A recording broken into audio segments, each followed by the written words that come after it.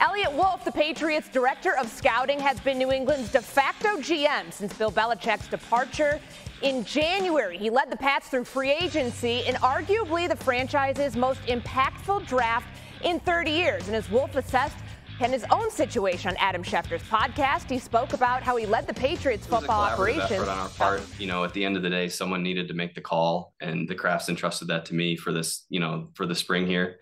And I'm I'm grateful for that opportunity. We all sat down together and and you know worked together to set the board and create the board and make the best decisions possible for the Patriots. I feel like I was very prepared for it, been thinking about the moment forever. The board fallen pretty well for us and able to pick guys we wanted. That made it a lot easier. Um, but it was it was a lot of fun.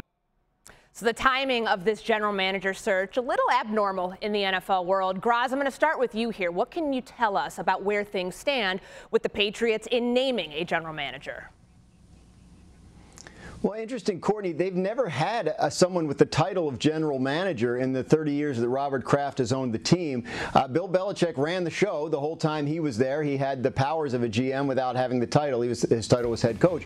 But uh, since they've moved on from Belichick, the front office responsibilities have been split. You know, Eliot Wolf has been the guy, the front man, and he was in charge of the draft. Matt Groh is there, who's been a, a point man on some of the contract talks they've had uh, with players uh, during this time. So I think I think Eliot Wolf is probably a, a, strong candidate for the job. But as with any job uh, this high profile in the NFL, they have to interview external candidates. They have to interview minority candidates to satisfy the Rooney Rule. And until they go through that process, uh, it's really hard to see where, say where it will land. It's entirely possible Eliot Wolf comes out of this with a formalization of the role that he's kind of been occupying there the last few months. But obviously, there's a ways to go in terms of the interview process with other people before any of that can be finalized. Sam, a lot of changes within this Patriots locker room, within the coaching staff and the front office. How do the front office changes impact this team in the offseason?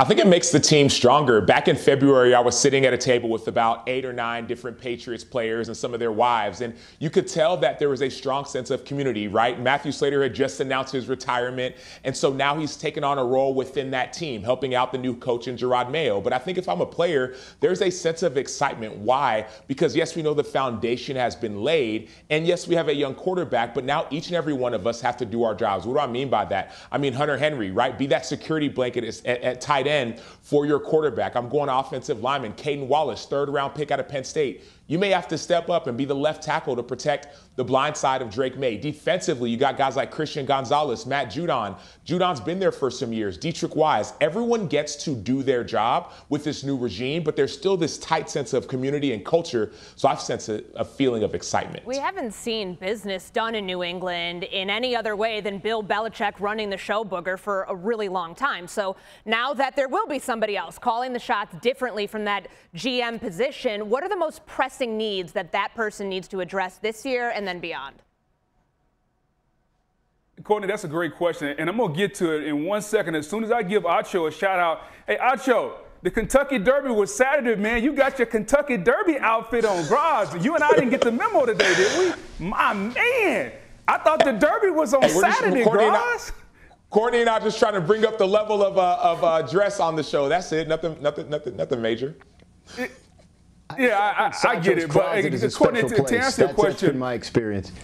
Exactly. Yeah. to answer your question, Courtney, there's a lot that needs to be done. This is a team that's void of talent. Yes, they get Drake Maye with the third overall pick, but right now, uh, Drake Maye is not scheduled to start, nor is he probably scheduled to play if you really want to be honest. This team needs talent everywhere. Right now, you look at Ja'Lynn Polk, is Kendrick Bourne, KJ Osborn, all being thrown to about Jacoby Brissett it doesn't quite scare people, especially in the AFC that's murderer's row. So I, I think if you're Eliot Wolf, who I think is going to ultimately be the GM, I think you got a lot to do defensively. They got some pieces on defense. You get the, the your young corner, the first round pick coming back. They they re-signed Kyle Dugger. They have a couple pieces, but overall, this is a team, kind of like me and Graz on this show with Acho. We are void of talent that Acho has presented us with with his Kentucky Derby suit today.